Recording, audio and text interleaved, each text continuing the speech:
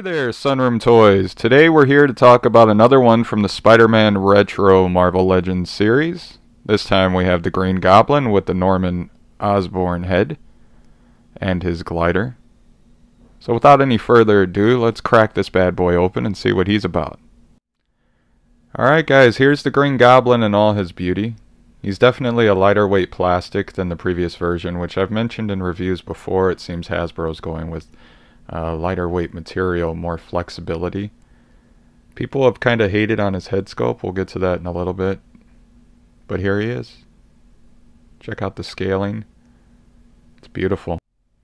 So here we have the Green Goblin in hand from the retro wave. I've got Norman Osborn kind of looking at his suit like, what's up guys? So this is a pretty beautiful figure. I have seen a lot of hate. I'm going to tell you right away, the head's fucking loose. So be careful with it. Hopefully yours will be a little better, maybe some uh, polish or something that they use to tighten up the joint. The rest of them's pretty solid. He's a very lightweight figure, as I said before. He's got a decent ab crunch. He can go up pretty far. He can go down pretty far. He doesn't have butterfly joints, which I wish that he did. The neck piece is extra, so it can come off as far as his little hood. He comes with a satchel, It'd be nice if they would have painted in there, but they didn't. He's got the ankle rockers, double jointed knees and elbows. His hands are pretty cool. He comes with this glider, which is basically a reissue of the one that came with the original figure. Nothing special to it this time. Same kind of deal. We're used to that from Hasbro. And of course the pumpkin bomb, which is the same as the other ones I believe. Nothing special on that end either, but it's nice to have it when you have a Green Goblin figure. He's got some posability to him. He definitely moves very fluid, as did Spider-Man. He doesn't have the special legs that Spider-Man has, but I wasn't expecting that because it is just Green Goblin and it wasn't stated. I do feel like the legs are built a little awkward if you look there. Kind of stands out like it wasn't proportionately corrected, I guess is the best term to put for it. You can see that he has the curl on the hood. The detail in there is amazing, and the ears. It definitely has that Toy Biz vibe head, which I believe is what they were going for. Let's go ahead and get Norman here.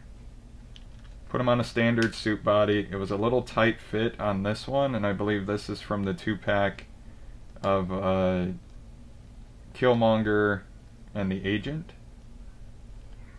The head is nice it does not have that animated feel for me, only because I think they could have did a little better painting on the head, a little differential. He has a very standard stoic face, which is to be expected from Hasbro. I like the eyebrow raise, but you can see the head doesn't move as fluid. It is a tight fit.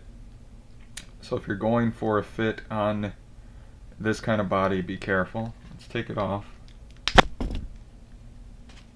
And then let's take off the goblin head and we'll swap them. See how that looks. I don't think it's designed to go on this figure.